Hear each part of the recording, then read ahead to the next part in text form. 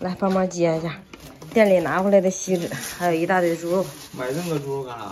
不是买的。你知道谁给的吗？谁给的？大姐给的，她家养了四头猪，杀了，然后给咱们挨家分了点肉。啊，等一会儿我把它切成小块，放冰箱冻上。先让大橙子把厨房收拾收拾。这爷俩刚吃完饭，我也是刚从店里边回来。你干啥呢？这小子唠嗑呢。把我们家这药箱扔手里头，实在是太乱了。昨天晚上我们吃的烤羊排，今天清理起来就老费劲了。那个事儿就交给大橙子了，我干点轻松的活。装了满满一盒，这些是过期的，得扔掉了。厨房已经收拾干净了，开始切肉吧。你切还是我切？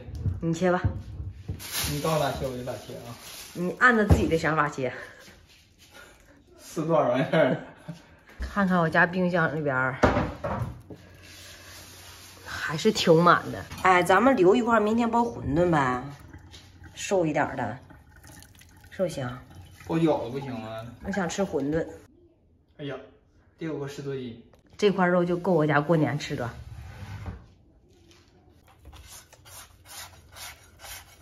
我拿点口的，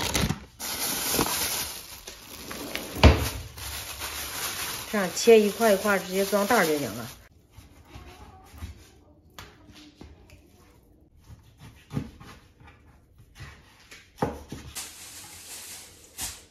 要不我切，你装。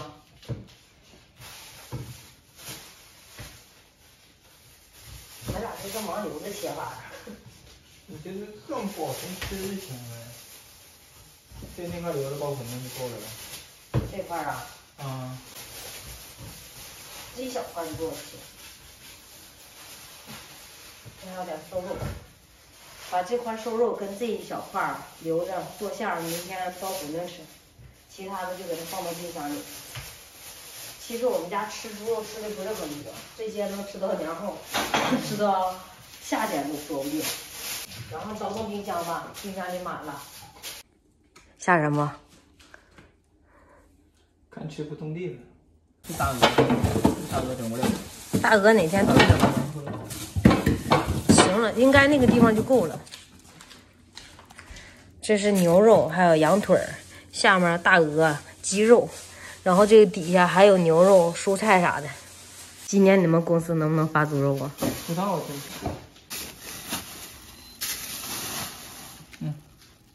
这么一瞅，冰箱又满了，全部完事儿。接下来的事儿就交给他了。来个山楂罐头，最近这段时间老吃黄桃的了，换个口味。哎，嗯，我明天休息了，你啥时候休息啊？我还得等一星期呢。那我明天逛街买新衣服去了。嗯，是吧？